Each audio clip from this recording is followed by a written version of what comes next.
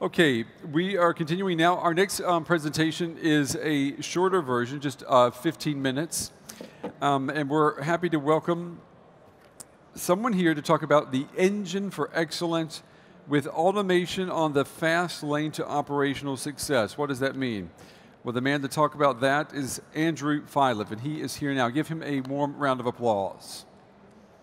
There you go. All right, thank you. Welcome, everybody. Uh, I will mostly talk about automation uh, in the digital office um, after amazing presentation uh, uh by Dr. Quent. My, my next one will be focused more on the workplace and, and what we do there. So first, a little bit of my, my personal background. Um, I manage a company called Wrike. We do collaborative work management software. We have more than 16,000 companies uh, as paid customers worldwide in more than 100 countries. Uh, and through working with them, we try to solicit the best practices of how to manage modern teams and how to excel in this new digital environment. Uh, I personally live in Silicon Valley, California, and a little uh, fun fact that on the personal side of things, uh, I'm a big um, fan of AI and robotics, and I actually had a team that competed in DARPA Robotics Challenge. So uh, I view AI both from the work context, but a little bit more on the fun side in they're um, kind of in more industrial setting, uh, settings as well.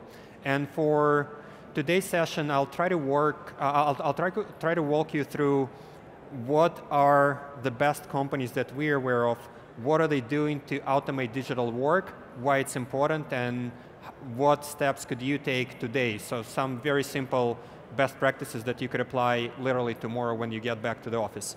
Uh, before I jump into that, why is this relevant?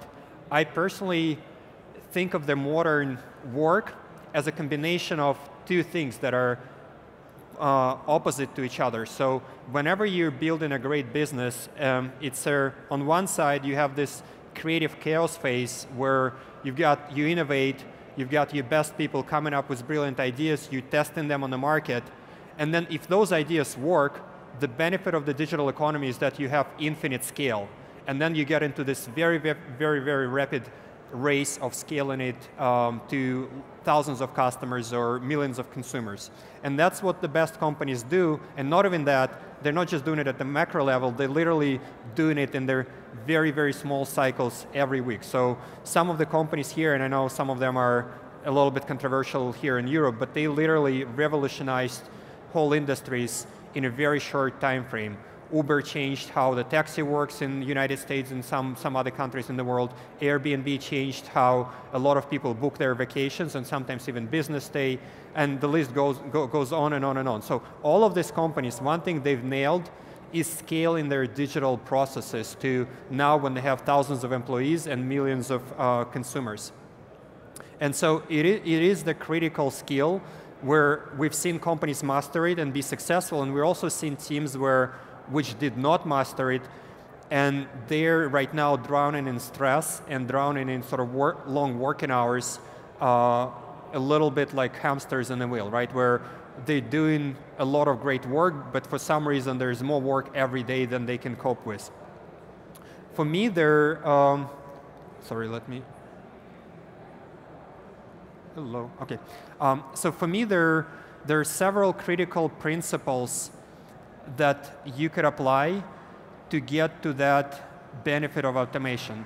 The first one, and this sounds very obvious, but you have to have the single source of truth which everybody can tap into. Uh, otherwise, you get into this very funny scenario where uh, I like to joke that in digital economy, you would think that information travels at the speed of light. In most companies that I know of, it travels at the speed of meetings.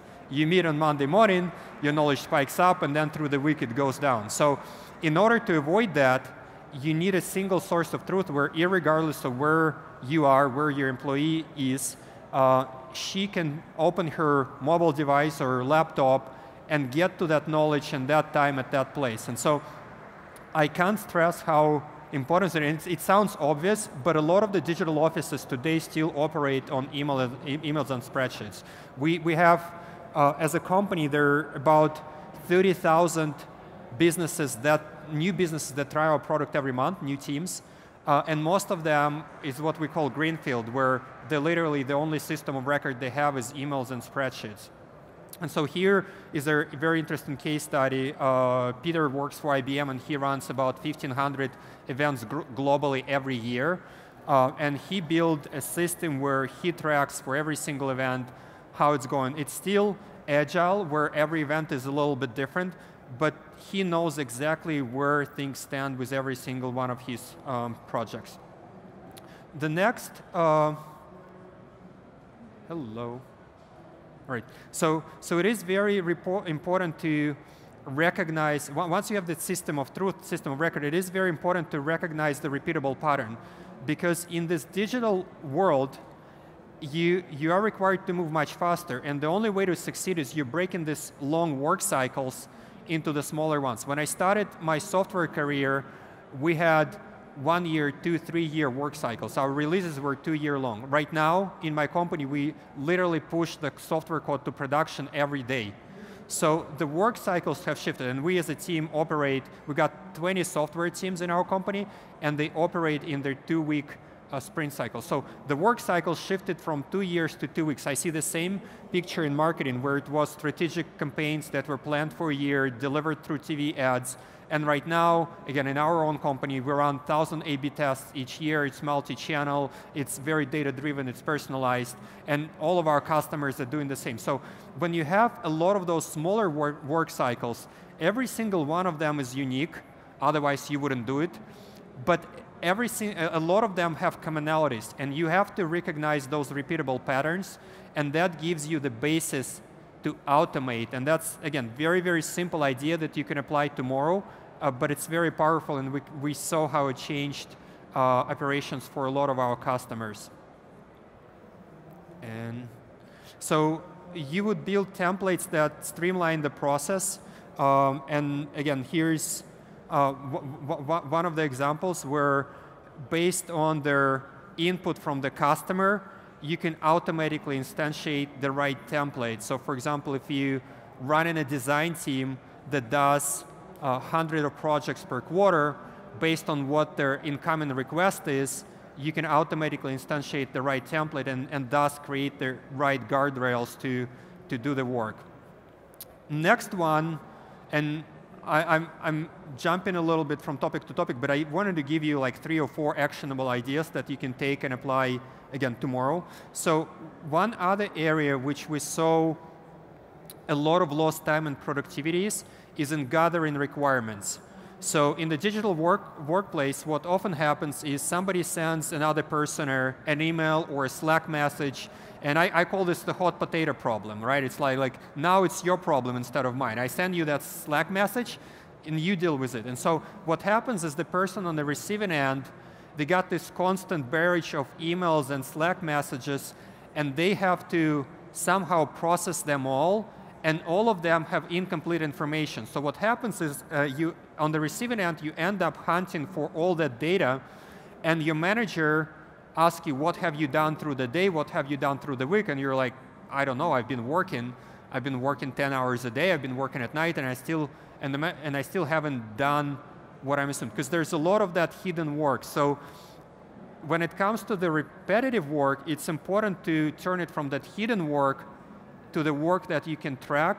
And one of the best things you could do there is upfront, you can take the requirements in. So you can create some dynamic forms in whatever tool you use. You can use something as simple as Google Forms, and you can use enterprise systems, you can use ours. There's plenty of choices, but you can create dynamic forms that would capture what your customer, and that, when I say customer, it might be internal stakeholder, what they want from you and your team.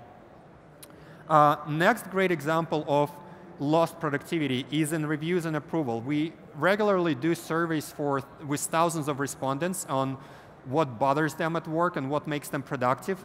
And one of the biggest pain points that we've, we've heard from people is they get frustrated when they have to wait for others.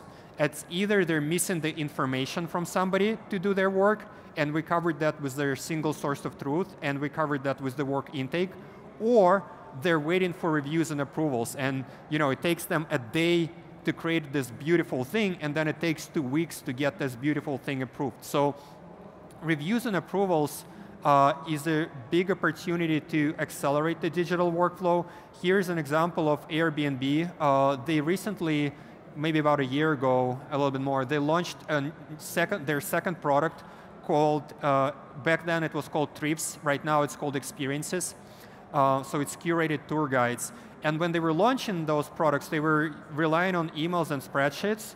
Uh, and that was all right when they wanted to launch their first five cities. But when they wanted to go globally to the first 50 cities, it's not scalable because as part of that work, they had to connect 16 different teams, including getting legal approval on those creative assets. Um, and, and that's usually the case in any in any sizable company, you got multiple stakeholders, you got quality assurance, you can have CMO, you can have legal, you can have sometimes sales as a stakeholder, sometimes engineering. So getting those approvals, again, sometimes takes weeks, and when you're in this fast-paced world where you got to ship something every day, every couple of weeks, you need to streamline that. So moving that to digital and giving people ability to just you know, pull out their phone or push to their phone and have them, you know, being able to circle something and say, I like it, I don't like it, can buy you a lot of uh, valuable time and uh, save you from a lot of frustration. Another important point, uh, and, and hopefully, again, I'm, I'm going fast, but hopefully I can inspire you to research more. Uh, we've seen customers where business users are now doing in months something that previously took IT quarters and years to build. So this is uh, Airbnb again. Uh, our champion there is not an IT person, and he was able to use third-party tool called Azuqua, and there are some others. There's Workato, there's Uniter, there's a simple one called Zapier. So he was able to use a very inexpensive uh, cloud tool to build workflows that automate different parts of his system. And the benefit of that, IT probably could do it better, but the benefit of him doing that is that in the digital world, he evolves his process very rapidly. So when he does that, it's not just about creating the, the most beautiful thing, it's about the fact that a month in, he can come in and introduce a new step, ch change one of the steps, plug in a different system. So uh, I want you to uh, be inspired. If, if, when the creative director can do that, I'm sure everybody in this audience um, can do that as well. So today it is possible to do some of those automations uh, by yourself in cloud and very, very uh, inexpensively.